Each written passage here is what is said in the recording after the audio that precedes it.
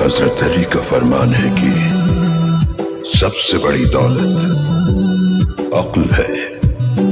अक्ल की बुनियाद पर चुने गए अल्फाज तलवार से ज़्यादा कारगर होते हैं।